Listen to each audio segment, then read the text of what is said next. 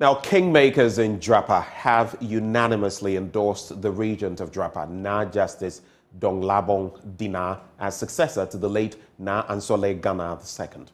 This makes him the fifth chief of Jirapa in over 100 years.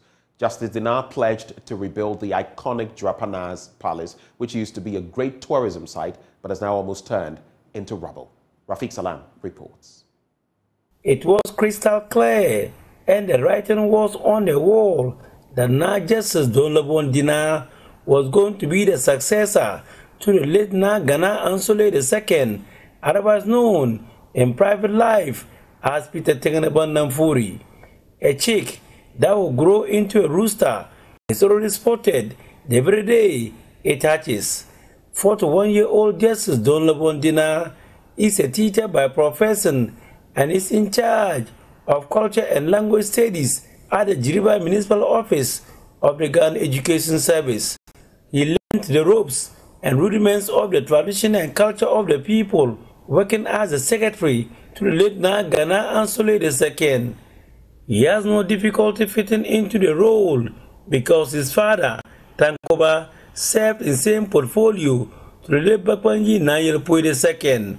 Almost six months after the burial of the late Na Ansole Gana II, processes to perform his final funeral rites before a new chief is chosen kick-started. The rites were laced with eight other persons from the family who during the course of the year had passed on. Anthony Jordan Batier, a tendana from Moiri, explained further. If you are a farmer, you farm. When you are no more, we have to produce a, a sheep according to your farming uh, this thing. And then we add the millet. It is the millet that we are going to give to the, the women. Those husbands who that are of late, they will now go and turn it into malt or petromite and then bring it the two weeks that we are put today.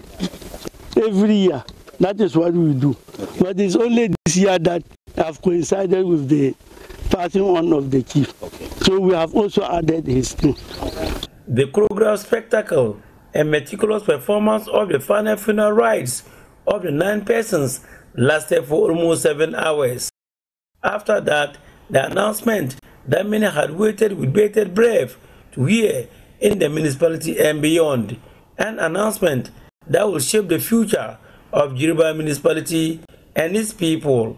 The seven recognized kingmakers were unanimous in their decision and amplified by Anthony Dodan Batier, who serves as one of their spokespersons. We have already come out with a, a successor who is uh, now Justice Dolabundina. Uh -huh.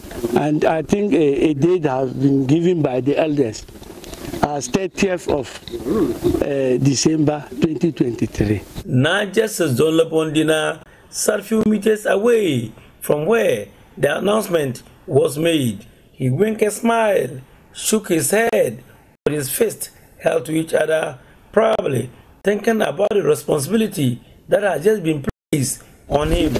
I am humbled by the decision of the Tendamba. Just like I was humbled when my elder brother, Na Ansole Gana II, appointed or nominated me as uh, his personal secretary. So it is today that uh, the Tendamba, after this ritual, finds it prudent to nominate me as a successor.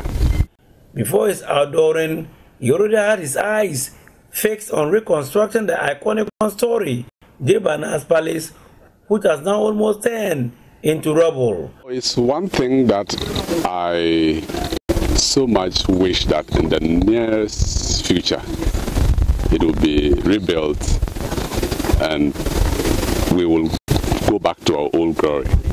I'm saying this because uh, if if you happen to have visited the old palace, you will see a new edifice there, an auditorium block. Uh, it took my intervention and lobbying to get it erected. it took us just eight months. So um, I won't be surprised if it will take us less than that to build the palace. Now Justice Don is expected to be coronated on December 30.